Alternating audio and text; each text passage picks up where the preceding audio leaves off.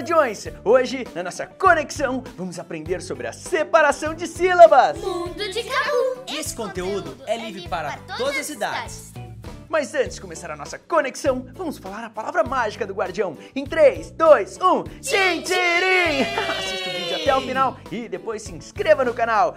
Agora estamos prontos! Turminha, a separação das sílabas são nas variações sonoras.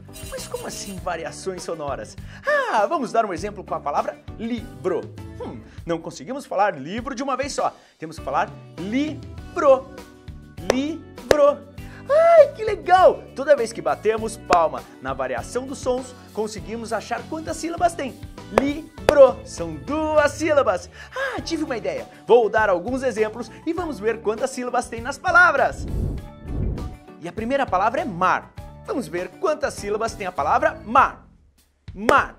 Hum, uma única sílaba. Bati uma vez só a palma.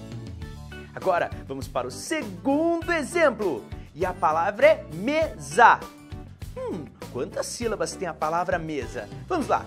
Mesa. Ah, duas sílabas. Agora, vamos para o terceiro exemplo. E a palavra é morango. Hum, vamos lá.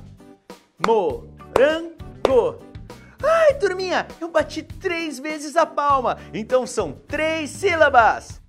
Agora vamos para o último exemplo. E a palavra é melancia.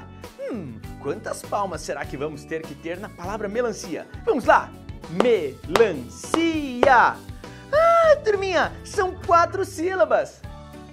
Turminha, eu adorei falar sobre a separação das sílabas. Ah, e aprender é muito bom. Hum, quantas sílabas será que tem a palavra aprender? Ah, vamos fazer comigo? Vamos lá. Aprender. Aprender são três sílabas. eu adorei a nossa conexão e até a próxima aventura com o Mundo de Cabu.